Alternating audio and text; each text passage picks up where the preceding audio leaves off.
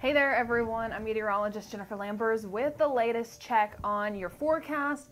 And also, we're talking Tropical Storm Elsa, brand new advisory just coming out um, about 45 minutes ago. So, that 1 p.m. advisory just coming out, and Elsa right now making landfall in Cuba. Now, that's going to be central Cuba, again, a long island there. So, what we're continuing to track with this system is moving through some of that rough mountainous terrain and also weakening of that system. But afterwards, it's going to be reemerging just closer towards the Florida Straits and also that southeastern portion of the Gulf. So we're going to be keeping a close eye on Elsa then. But let's go ahead and dive right in, see what we're, what we're looking at, and then also we're going to touch on our local weather too right now just tracking a flash flood warning, plus also a potential flash flood watch coming out locally here too. But let's go ahead and dive right in, see just exactly what we do have going on. So right now, this is Elsa, not really the most organized system. As you can see right now, just starting to move closer towards Cuba, that central portion, and just looking a little bit sloppy there. But zooming in, just a little bit closer, you can see really starting to take that movement with it too. Now this is a six hour time frame. So just Elsa staying stationary for the most part for the past couple of hours. But those current stats, this is a tropical storm. Those sustained winds still at 60 miles per hour. Just a reminder that at 74 miles per hour is when it does get up to that category one strength.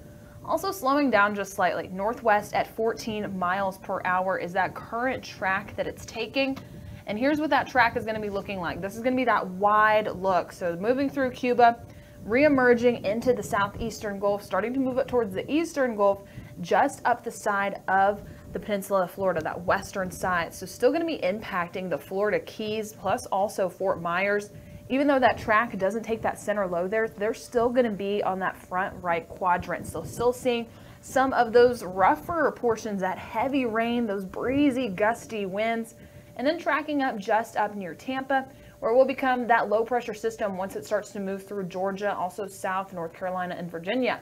And after that, expected re-strengthening back into the Atlantic once it does just move off of Boston and Washington, D.C. So keeping a close eye in that area, but zooming in closer towards the timing on this system. Expecting that reemergence back into the Gulf by tomorrow morning, so Tuesday around 8 a.m., and then starting to trek up. So it's going to be taking about 12 hours to just move. So a little bit slower by the time it gets to that point. When Elsa first formed, those winds or that speed was over 30 miles per hour. So it was much quicker moving in the Caribbean and now moving into the Gulf. It will find favorable conditions at this time too. So you can start to see that those winds bump up to about 65 miles per hour, but it is still possible that that re-strengthening could take Elsa back to that hurricane strength. So something to keep an eye on for that portion especially on that western peninsula. Not really seeing a lot of those tropical storms affect this area, plus also that hurricane strength still possible. But even here locally, while we are outside of the cone and also we are on the western side of the system, we're still going to be seeing local impacts. We're going to be seeing that rip current risk really bump up heading into the week. So in case you are vacationing here, heading on down towards our coastal waters, really be careful. Be careful of those rough waves that we're going to be seeing, that surf, that rip current risk, Plus also we're going to be seeing increased rain chances. This is going to be pushing up a lot of that Gulf moisture. So we're really going to see that reflecting heading further on into our Tuesday and our Wednesday with just some increased rain coverage plus also some breezy winds still possible. Now in those area, again, we are nowhere near any of these watches or this warning. This is going to be affecting southern Florida, so the peninsula region down towards the Key West. That's currently in that tropical storm warning. That's going to be extending up through Fort Myers, also the Tampa area. PCB, Panama City Beach, also left out of that. But tropical storm watches just on the eastern side there where they could see some of those impacts um, within the next 36 hours. So keeping a close eye on that. Again, we are not included in this because Elsa going to be affecting a different region of Florida, still a really big state, but even then our Gulf region still going to be seeing some impacts from this. So Tuesday and Wednesday rain, courtesy of Elsa also that increased rip current risk too. Let's go ahead and talk about local weather. Yes, we're still continuing to track some of those heavy rain, those showers, those thunderstorms, and they were a little bit more widespread earlier. You can start to see that towards those coastal regions on the panhandle.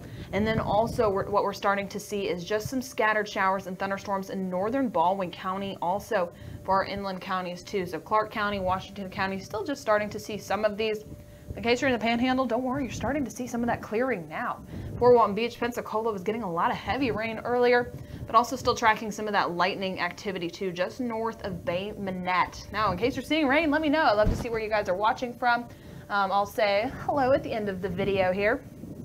Um, but we've seen a lot of that heavy rain in the panhandle. So that's also what prompted this flash flood warning. This is going to be included for areas near Crestview. It feels like it's been raining for a while. Well, yeah, it has. You've seen quite a bit of rain just in the past six hours alone. So Crestview, Okaloosa, and Santa Rosa counties, that warning is in effect until 3.45 p.m. Luckily, you're starting to see some of that clearing now. But again, in the past 24 hours, this is just what our rain is looking like. Some areas see those heavy downpours of kind of like those microbursts where it's just heavy rain all of a sudden, and then you start to see some of that clearing, that frequent lightning, also some breezy winds. That blue right there, the blue on the map showing to where you get to see that two to three inch range, but then also we're seeing some purple there. And that purple is where that flash flood warning was. And really, that was just in the past six hours. So as we zoom in closer again, that's that six hour rainfall total there. And just in the past six hours alone, almost five inches of rain just to the west of Crestview. So right on that county line there, you can start to see closer. Really starting to get some heavy rain in case you were traveling on 90 and you felt like it was raining a bit. Yeah, you weren't wrong because that's almost five inches there. Now those temperatures, as we do take a look outside right now, mainly in the lower to mid 80s for a lot of places. So it's feeling warm plus mixed with those showers. You're probably feeling that humidity. It's feeling just a little bit warmer out there too. And those lower 80s on our coastal spots. Still gonna be a great day to head on down towards the beaches. Just make sure you're being very careful in that water. And that's gonna be for the extension of the entire week. High rip current risk all week. That is gonna be courtesy of Elsa. So make sure you are being careful. But then heading on into this evening, we're still gonna be seeing those mid 70s for our overnight lows. And then heading on into tomorrow, we're back to those lower to mid 80s. So also we're still below average for this time of year. But you know what? I'll take it. I'll gladly take that um, over some heat. I remember around this time last year, we are talking about record-breaking heat. Luckily, not talking about that now. I'm going to go ahead and leave this up with radar um, while I just say hello to some folks.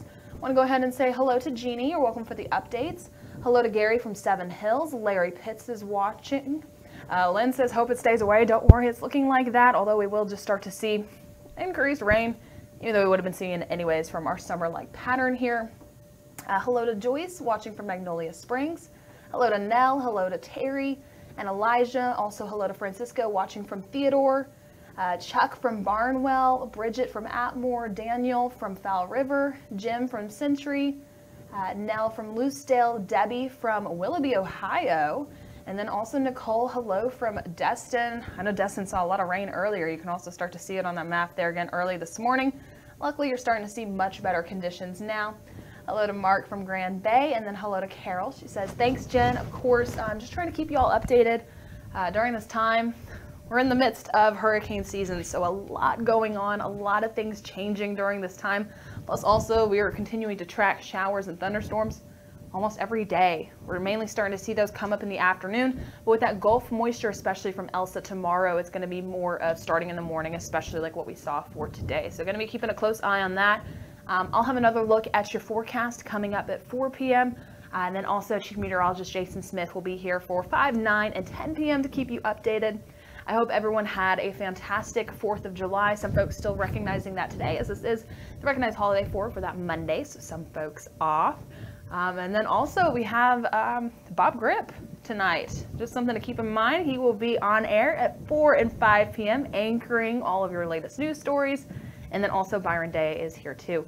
And he'll be on at 5, 9, and 10 just to keep you updated. Big breaking news stories still happened over the weekend. So I have all the details on that, plus also that new ELSA advisory coming out at 4 p.m. So we'll have that again for you coming up at 4. Um, also wanted to say hello to Jenny from Stapleton, hello Renee from Milton, hello Barbara from Range, Amy from Stockton, and Blue from Pine Hill, Alabama. Again, I hope everyone has a fantastic Monday. Stay safe out there. Um, also, we'll continue to track your traffic too because we're going to start to see more of those delays building. It's a lot of folks heading home from the holiday weekend. We'll have all of those details coming up on Fox 10 News at 4. Have a fantastic day, everyone.